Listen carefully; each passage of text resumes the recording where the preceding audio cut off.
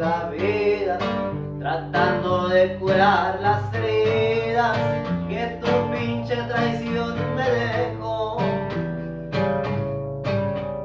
Trato de olvidar, pero duele recordar todos aquellos momentos que compartimos.